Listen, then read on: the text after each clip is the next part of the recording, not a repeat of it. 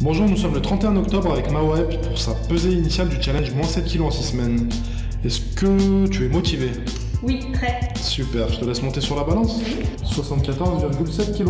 Bonjour, nous sommes le 14 décembre avec Maweb pour sa pesée finale du challenge moins 7 kg en 6 semaines. Ton poids initial était de 74,7 kg, tu dois être aujourd'hui à 67,7. Est-ce que ça te paraît jouable? Oui. Super, je te laisse monter sur la balance 67,3 kg.